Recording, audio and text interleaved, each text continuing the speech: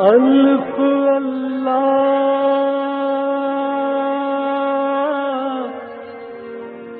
चंबे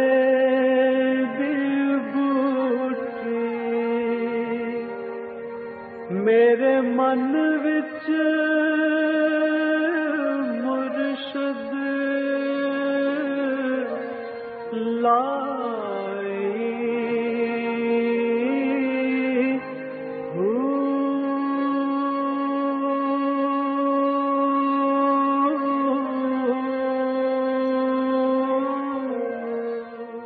बिस्मिल्लाहिर्रहमानिर्रहीम। अस्सलाम वालेकुम प्रोग्राम अल मुर्शद में आपके सवाल के साथ मुनवर अतीक हाजिर खिदमत।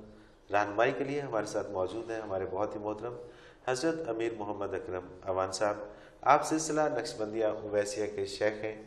मुदरजम कुरान हैं मुफ़क्र कुरान हैं मुफसर कुरान हैं, शायर हैं, अदीब हैं, बहुत से हवाले आपके तारुफ के। हज़रत साहब, बहुत शुक्रिया आपने वक्त दिया हज़रत साहब बहादुर अली मियाँ चन्नू से इनका एक सवाल है।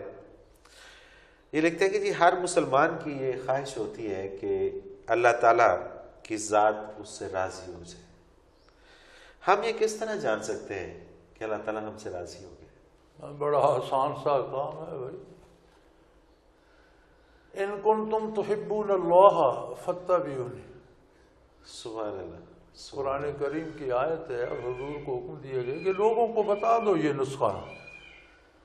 अगर तुम्हें अल्लाह से मोहब्बत है, अगर तुम चाहते हो तुम्हारा खालिक तुमसे राज़ी फत्ता भी उन्हीं मेरा इत्तेबा कर। सुबह युहिब्बुकुमुल्लाह।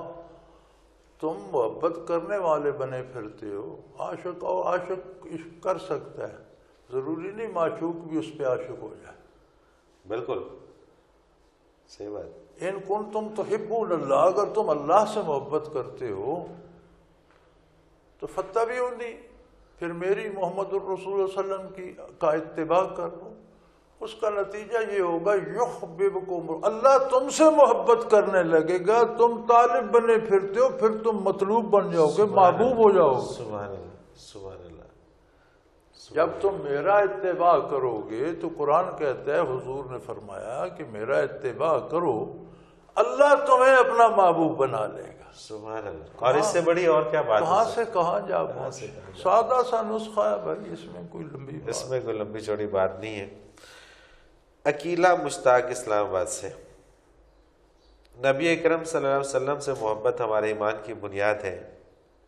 हम इस मोहब्बत को अपने कल्ब में किस तरह जागुजी करें?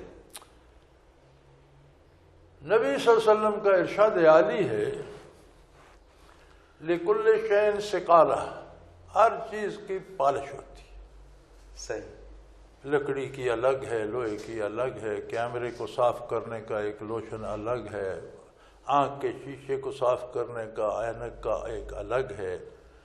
लिकुल्ल शैन से काला हर चीज़ की एक पालिश होती है वो न लगाई जाए तो वो चीज़ धुंधली मैली जंगालूद खराब होने लगती वसिकालतुलकुलूब जिक्रुल्लाह कमा काल सल्लल्लाहु दिलों की पालश अल्लाह का ज़िक्र है। सुबह तो भाई दिलों को पालिश करो अल्लाह का ज़िक्र करो। दिल साफ़ होंगे तो मोहब्बत उनमें बसी रहेगी। दिल जंगालूद हो गया तो मोहब्बत क्या फिर तो वहाँ नफरतें जन्म लेंगी और आप हर एक से लड़ते फिरते फिरते हो। सुबह सुबह रेहान अहमद सैयद इस्लामाबाद से। इश्क हकीकी की नोयत इश्क मजाजी से बहुत मुख्तलिफ़ है। इश्क हकीकी को नापने का पैमाना क्या है? जहाँ तक बात है ना इश्क की मेरा मेरा मसला कुछ अपना सा है। और लोगों को मुझे एतराज़ भी होता है कि इसकी इनफरादी राय होती है और ये बड़ों की बातें नहीं मान मैं कहता हूँ इश्क मजाजी इश्क नहीं है। सही। ज़रूरत है। सही। जिसे इश्क मजाजी कहते हैं ना वो ज़रूरत है। वो इश्क नहीं है। मैं समझता हूँ कि अमूमन ये दो जिनसों के दर जिनसे मुखालफ के दरमियान होता है। सही। उन दोनों में से एक बेकार हो जाए तो इश्क बाकी रहता। है सवाल ही पैदा नहीं होता। शक्ल पे तेजाब फेंक दो मर्द का रोज़गार छूट जाए। इश्क होता तो फिर तो फिर तो कायम रहता। है। ये इश्क नहीं है ये हमारी ज़रूरत ये ज़रूरत है जिसको हमने इश्क का नाम दे रखा है जिसको जिसको हमने मजाजी हम कहते हैं। बहुत खूबसूरत बात। इश्क वहाँ है जहाँ कुछ मिले तो भी ठीक है न मिले तो भी ठीक है। सुबह अल्लाह। यहाँ हमें कुछ मिले तो इश्क है। ना मिले तो कौन से इश्क है? बड़े बड़े आशिक बीवी के बाद दूसरी शादी कर लेते हैं। बड़ी बड़ी आशिक खवातीन मर्द के बाद तीन तीन शादियों की इश्क कहाँ जाता है? ये यार इश्क नहीं है। ये हमारी जा... मैं कहता हूँ दुनिया में मोहब्बत नापैद है। कहते हैं वालदेन को औलाद से बड़ी मोहब्बत है। आज के वालदेन को औलाद कमा कर न दे घर से ठुड्डे मार कर निकाल देते हैं। मोहब्बत कहाँ जाती है? और ये बड़ी सच्ची बात है। जरूरतें हैं हमारी, बेटा जवान हुआ है, कमा कर दे।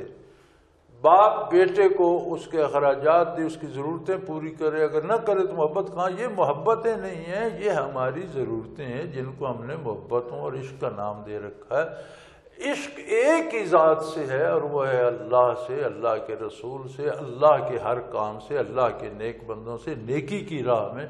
और वो गैर मशरूत होता है। ना अल्लाह पे जवाल आता है ना अल्लाह की नेकी पे जवाल आता है। सुबह और इश्क होता है उस लाजवाल चीज़ के साथ और वो इश्क भी लाजवाल होता है। अमीर हो तो भी मोहब्बत करता है फकीर हो जाए तो भी मोहब्बत करता है। मोहब्बत करता है। सेहतमंद हो तो भी इश्क का जज्बा वही है बीमार हो जाए तो इश्क और जमा हो जाता है। सुबह सुबह बेशक। देखे ना सेहत में एक मोहब्बत है अल्लाह से और अल्लाह सेहत ले लेता है तो मोहब्बत और जमा हो जाती। है सुखी होता है अल्लाह से इश्क करता है दुखी होता है तो दुख इश्क को बढ़ा देता है। यार इश्क तो ये है ना।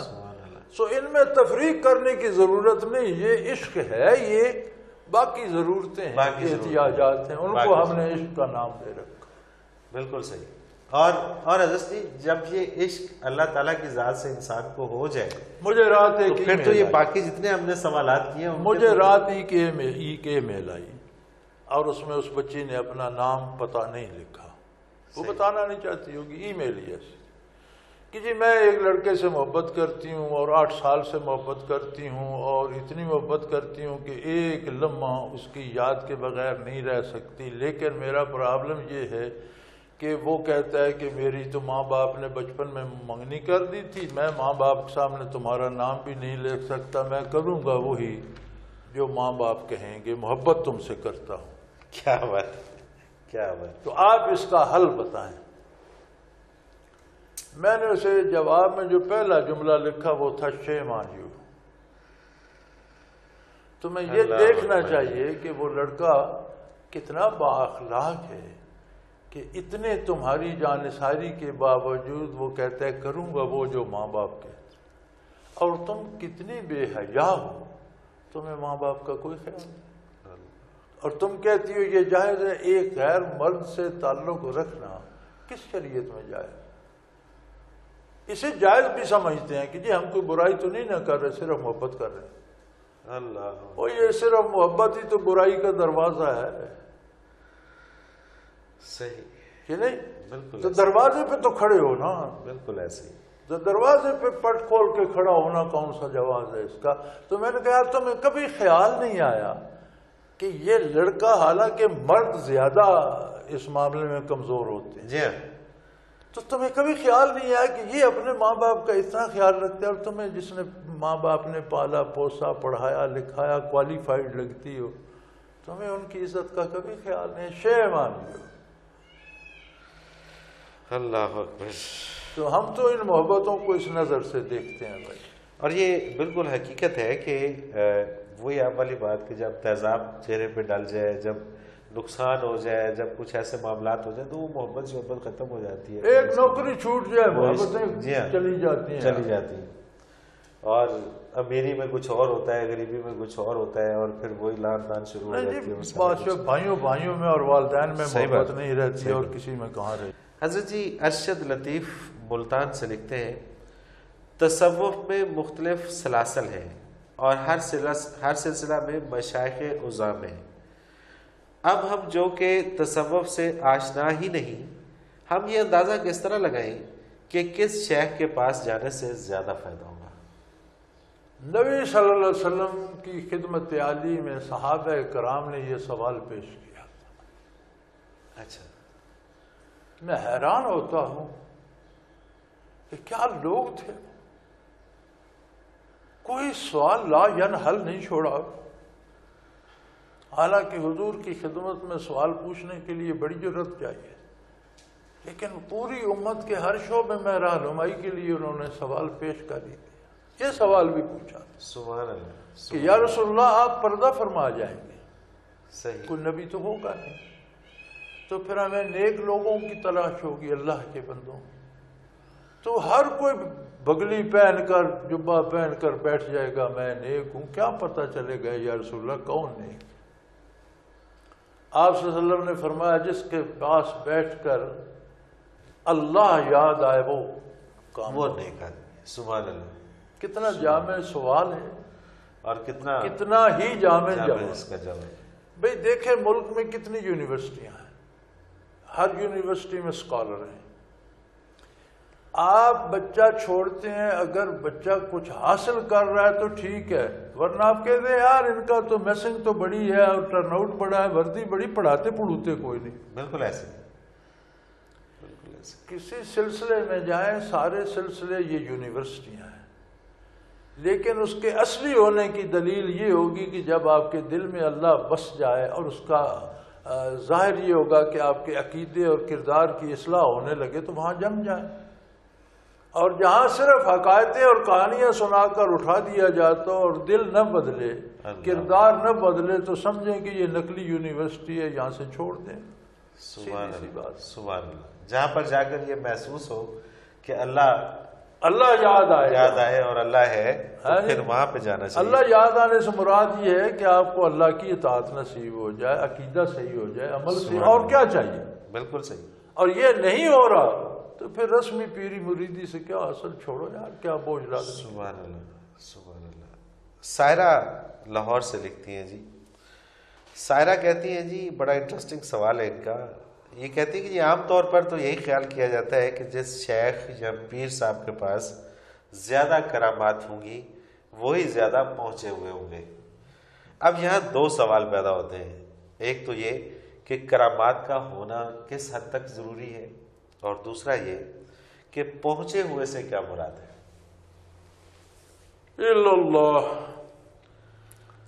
पहली बात यह है कि करामत क्या है? गलती यहाँ हो जाती है। सही।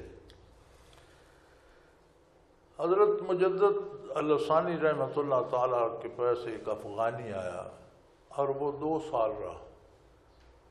न उन्होंने पूछा, क्यों आए हो? न उसने बताया, क्यों आया वो नमाज़ उनके साथ पढ़ता, ज़िक्र में शामिल हो जाता, लंगर से खाना खाता रहता। दो साल के बाद उसने कहा, हज़रत, मैं जाता फरमाया ठीक है मर्ज़ी से आए हो मर्ज़ी से जाने तो ये तो बताओ आए क्यों थे जा क्यों रहे हो? अल्लाह उसने कहा जी आया था सुना था कि आप बड़े खुदा रसीदा हैं पहुँचे हुए हैं। सही। पहुँचे से मुराद होता है कि जो अल्लाह का मुकरब है। बिल्कुल सही। लेकिन दो साल रहा तो फरमाया जा क्यों रहे तो कहने लगे दो साल में कोई करामत नहीं देखी। अच्छा। उन्होंने फरमाया तुम दो साल रहे हो और सारी नमाजें मेरे साथ पढ़ी हैं दिन रात उठना बैठना मेहमानों का आना जाना साथ और तुम आलिम भी लगते हो मुझे। जी मैं आलिम। आपने फरमाया दो साल में मेरा कोई काम खिलाफ सुन्नत देखा? अल्लाह। कहने लगा नहीं? तो फरमाया करामत किसको कहते अल्लाह। तुम शोभदाबाजी को करामत समझते कि मैं फूक मारूं और मक्खियाँ मर जाएँ तो करामत है मैं फूक मारूं और दिया रोशन हो जाएगा। ये तो शोभदाबाजी है। करामत दीन पर इस्तकामत का नाम इस्तकामत का नाम है बिल्कुल सही। तब उसने फिर माफ़ी मांगी और फिर बैत की। सुभान अल्लाह सुभान अल्लाह आपने फरमाया दो साल बड़ा अरसा है तुमने दो साल में मेरा कोई किरदार खिलाफ सुन्नत देखा है? कहने लगा जी ने फरमाया करामत किसको कहते सबसे बड़ी करामत है कि दीन, के पर इस्तकामत। हक पर कायम रहे। सुबह अम्बिया फरमाइशी मुआजे नहीं दिखाते थे कुरान में कितनी दफ़ा काफर ने मुतालबा किया अल्लाह ने फरमाया मैं तुम्हारा को बताऊँ कि जो तुम कहो वो दिखा दूँ। क्या अल्लाह की अपनी मर्ज़ी उसकी पसंद जब चाहे। लेकिन जहाँ कुफर इस्लाम का मुकाबला आ गया वहाँ मुआजा ज़ाहिर हुआ कुफर को शिकस्त देने के और इस्लाम की तायद के लिए। सुबह चाँद दो टुकड़े हुआ तो काफरों की शिकस्त और इस्लाम की तायद के लिए। मेराज का वाक्य हजूर ने सुनाया तो कुफर की शिकस्त काफरों की तायद। बेशुमार मोजात नबी वसल्लम के और या अल्लाह की बेशुमार करामत है हर करामत वो करामत है जिसके जहूर से बातिल को शिकस्त हुई और हक गालिब हुआ। सुबह इसके अलावा शोबदाबाजी है मेरे भाई। वो तो गैर मुस्लिम और को वो भी तो बहुत। सारे लोग करते हैं और वो तो बड़ी बड़ी शोभदाबाजी होती है। यानी मुहैयरकूल काम करना तो ये तो मदारी सबसे ज़्यादा तकड़ा होता है। बिल्कुल सही। हमारा एक दोस्त है मदारी यहाँ बच्चों को सालाना जब उनका होता है नतीजा तो यहाँ प्रोग्राम होता है तो उसमें वो भी आता है हर साल आता है। अजीब गरीब ऐसे कागज़ तय किए होते हैं इस तरह खोलता है तो सारे नोट होते हैं। जी हाँ और उसमें से कबूतर निकल आते हैं अब होता ये है। कि वो नोट उसके यहाँ होते हैं हाथ में कागज़ होते हैं। उसकी ये चाबकदस्ती है कि कागजों को इस तरह इस बाजू में का यहाँ से नोट निकाल ले बंदा समझता है वही कागज़ नोट हाँ। बन यार कागज़ के नोट छाप सकता होता तो ये मदारी जी के हाँ। तमाशे करता फिरता। सही बात सही बात सही बात। तो ये लोग इन चीज़ों को करामते समझ ये करामत नहीं है करामत नहीं होती। और इनके इनके दूसरे सवाल का जवाब भी इसी में इनको मिल गया कि पहुँचे हुए किसे कहते हैं? जो मुकर्रब होते हैं खुदा अल्लाह ताला रसीदा। के बहुत नज़दीक होते हैं वो पहुँचे हुए लोग इस्तलाह उसमें इस्तेमाल की जाती है। एक पहुँचा हुआ और भी होता है यहाँ चकवाल में एक था तो एक पहले पहले हीरोइन आई थी कैप्सूलों में होती थी शुरू शुरू में उसे राकेट कहते थे। तो यहाँ एक झुग्गी नशीन था उसे बड़ा वली मानते थे और वो राकेट खाया करता था। तो एक दिन उसके दो मुरीद आए तो एक ने पाँव दबा दाबने शुरू किए तो दूसरे ने कहा न छेड़ भाई मंजिलें तय कर रहा है।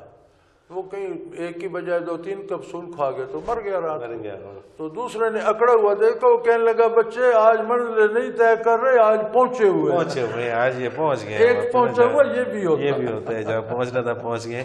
तो अल्लाह ताला के जो मुकर्रम लोग हैं वो पहुँचे हुए होते। हैं नाजरीन, एक मुख्तसर सा कमर्शल ब्रेक, उसके बाद हाजिर होते हैं हमारे साथ।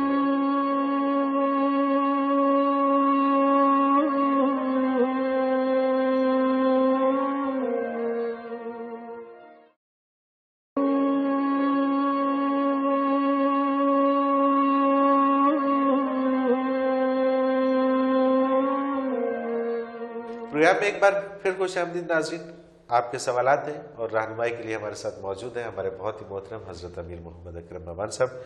हज़रत साहब, एक और सवाल शामिल करते हैं। मिसेस वहीद लाहौर से, ये, खैर, ये सवाल तो नहीं है, इन्होंने प्रोग्राम की तारीफ़ की है, कहती हैं कि आपका प्रोग्राम बहुत अच्छा है और बहुत ज़्यादा मालूम हासिल होती हैं।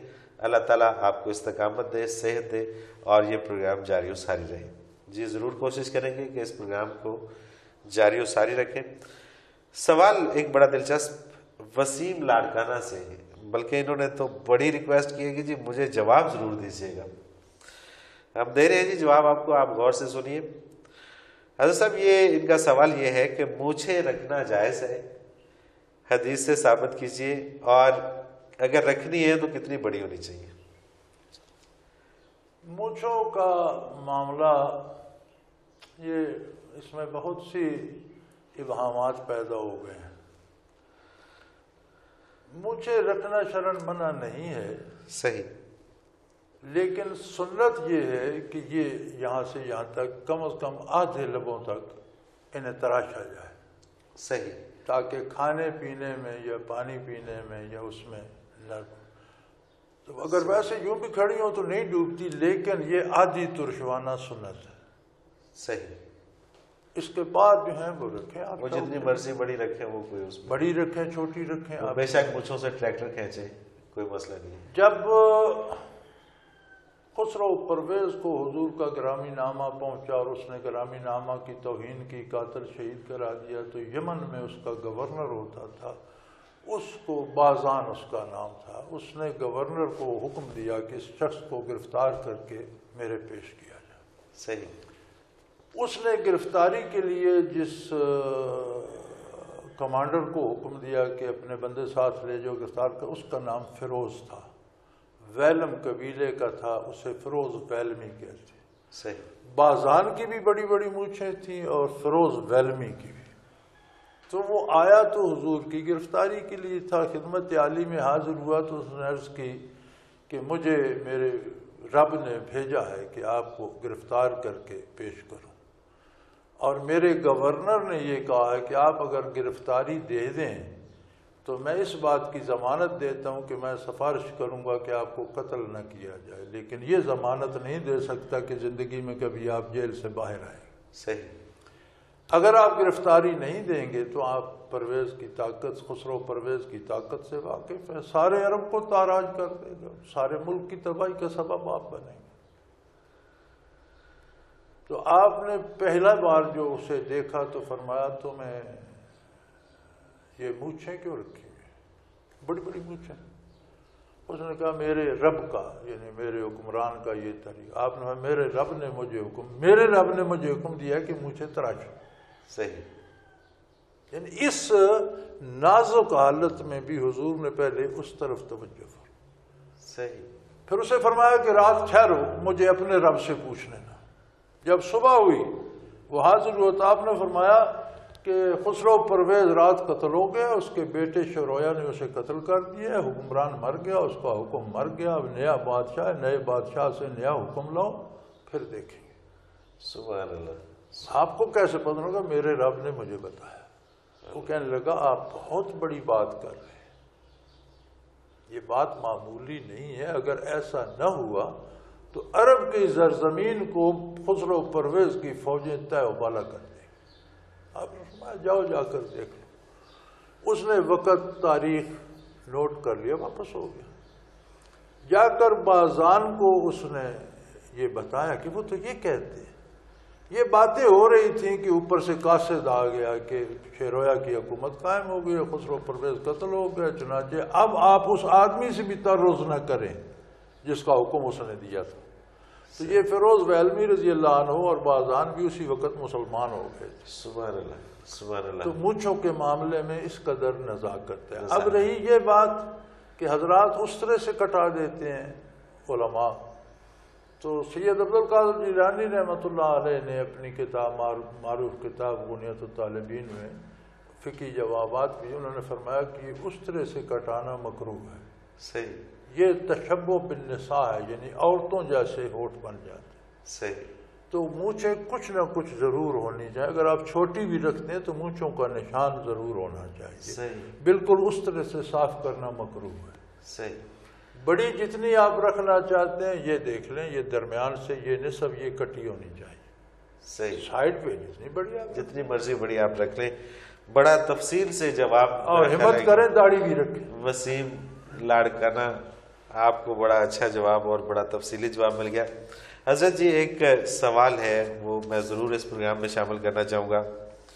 मोहम्मद मुनीर है लाहौर से, वो कहते हैं, जी, क्या ज़रूरत है इबादत करने की? क्या ज़रूरत है ज़िक्र करने की? क्या ज़रूरत है नमाज़ें पढ़ने की? हम यहाँ से जाते हैं और हम जाके पाक पतन शरीफ बहती दरवाज़ा है और उस दरवाजे से में हम, हमने गुजर जाना है और हम गुजर जाते हैं। तो बहती दरवाजे से गुजर गए तो हम जन्नत के दरवाजे से गुजर गए तो बाकी क्या चीज़ रह जाती है? पहली बात तो ये है कि ये बातें बुज़ुर्गों से सादर भी होती हैं और दूसरी बात यह कि कोई सनद भी नहीं होती कि उन्होंने ये फरमाया भी था या किसी ने पीछे से सही। लगा दिया।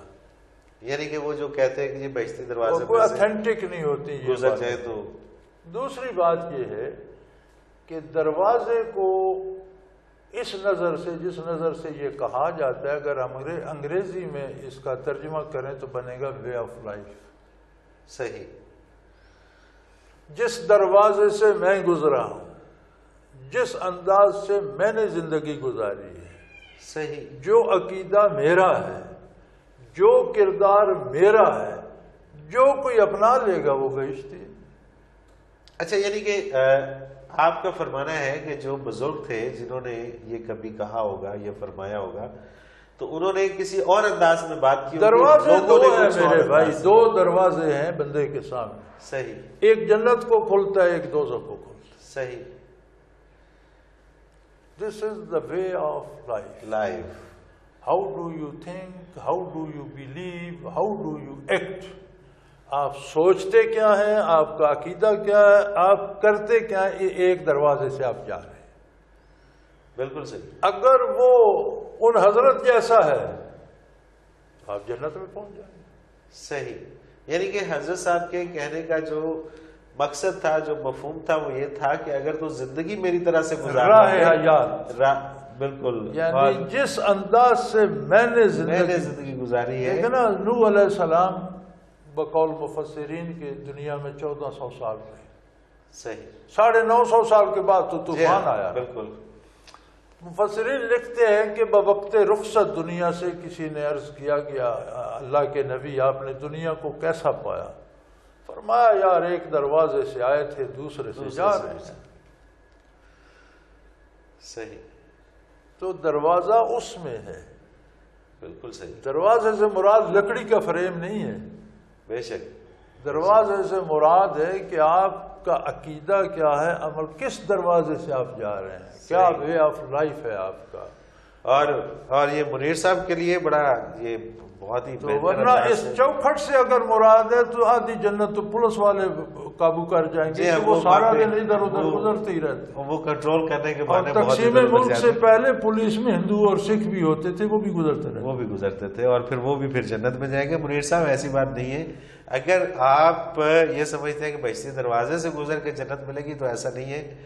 हज़रत साहब ने जैसा कि फरमाया है कि बाबा जी हजूर के के जो मफहूम को समझे उन्होंने जिस तरह से इर्शाद फरमाया होगा कि उनके लाइफ स्टाइल के ऊपर उन्होंने जिस तरह से ज़िंदगी गुजारी उस तरह से आप ज़िंदगी गुजारे तो फिर नमाज़ भी पढ़नी पड़ेगी फिर ज़िक्र भी करना पड़ेगा और चीजें- ज़िंदगी गुजारे तो बेशक वो अल्लाह। तो फिर वो यकीन जन्नत में जाएगा। हज़रत जी एक और सवाल ये भी बड़ा इंटरेस्टिंग है। ये है कि जी इफ्तार मुगल है लाहौर से। ये लिखते हैं कि जी, मौत के बाद इंसान जब कब्र में जाता है तो सवालात कब शुरू होते हैं? और जजा सजा का अमल फौरी शुरू हो जाता है या कि रोज़े मैशर तक मौखर कर दिया जाता है? हदीस शरीफ में मौजूद है कि जब कब्र में जाता है तो उसे एहसास और शूर मौत के बाद भी होता है। कब्र पर मट्टी डालकर जब वापस होते हैं तो हदीस में मौजूद है कि वो उनके पाँव की आवाज़ भी सुनता है। तो जब लोग हटते हैं तो फरिश्ते आ जाते हैं सवाल जवाब शुरू हो जाता है। सही। अब ये बरजुख जो है ये मौत के बाद क़यामत तक के जो है इसे बरजुख कहते हैं। बरजुख का लफ्जी तर्जमा पर्दा होता है यानी आखरत और दुनिया के दरमियान जो ये है इसे बरजुख सही। बरजुख इज़ अ वेटिंग रूम। आप इंतज़ार गाह में हैं। दुनिया में जो कुछ करके आए आप अब इंतज़ार गाह में हैं। अजाब सवाब क़यामत के बाद होगा अच्छा। लेकिन बरसुख में क्या होता है? Everybody will be treated as he has god from the world जो कुछ दुनिया से कमा के लाया अगर आप एक क्लास के मुसाफिर हैं तो बरजुख में एक क्लास में बैठे हैं। एक क्लास की सहूलतें फैसिलिटीज़ होंगी। सही।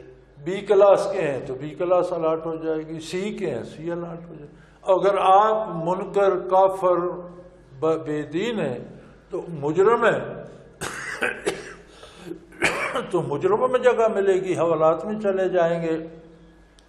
दाल चपाती मुजरमों वाली होगी पुलिस के थप्पड़ डंडे ये वो गाली गलोच वो यानी कि मुजरम इसका मतलब ये हुआ कि जो भी कारनामा है सारे जाम दिए हुए हैं दुनिया में जब मौत के बाद बरजुख में जाएगा तो भुगतेगा। Will be treated like that यानी वो इंतज़ार गाह है। हकीकी अजाब तो क्यामत के बाद शुरू। होगा। लेकिन अब देखें ना कुरान करीम में आता है कि फिरौनी गरक हुए। उगरे को फौद खिलू नारा। गरक तो समंदर में हुए दाखिल आग में हो गए। उगरे को फौद खिलू नारा। दूसरी जगह आता है अन्नारो यो रजूना अलैया गुदुम मवाशिया फिरौन और उसके लोगों पर सुबह शाम नई आग भेजी जाती है। लेकिन ये सारा बरजुख में है ना अभी तो वो बरजुख में है। जी अभी जन्नत दोजख में नहीं गए। जब क्यामत होगी तो जाने क्या होगा। सही। ये तो इंतजारगाह में उनके साथ हो रहा है। ये सजा नहीं है। ये उनका जो स्टेटस है उसके मुताबिक सलूक हो रहा है। उनको, ट्रीट किया जा रहा है। बिल्कुल सही बात है। बरजुख में जो अजाब सवाब है ये हक है। नबी और ये कितना लंबा है। होगा ये ये कितनी ये कोई नहीं जानता हुजूर का इरशाद है अल कब्र रोजा तुम में रियाजिल जन्ना और हुफर तुम में नफर नीरान। कब्र या जन्नत के बागों से एक बाग है या दो के गढ़ों से एक गढ़। औ कमा काला रसूल वसल्लम तो जैसा बंदा होता है जो कमा के उस तरह बरजुख में उसे उसके साथ सलूक किया जाता है उससे बरजुख का सवाब या बरजुख का अजाब कहते हैं। सही। हकीकी अजाब या हकीकी सवाब अब जिन्हें बरजुख में नेमत नसीब है क्यामत को पत्नी कितनी अजीम शान नेमत। और जिन्हें बरसुख में अजाब क्यामत को वो कितना बढ़ जाएगा क्या होगा? तो ये सूरत हाल। सही। यानी कि रोज़े मैशर तो वही है और हिसाब किताब का दिन तो वही है। दोजख जन्नत का दाखिला वही होगा। वही होगा लेकिन वो जन्नत दोजख बरजुख में है ये आर्जी है और ये इंतज़ार गाहें हैं। जिस दर्जे का बंदा है, उस दर्जे की इंतज़ार का। सुबह अल्लाह हज़रत साहब, बहुत शुक्रिया आपने वक्त दिया और वक्त फिर आपने इख्ताम को पहुँचा। नाजरीन मोहतरम, इसके साथ ही मुनवरती को इजाज़त दीजिए।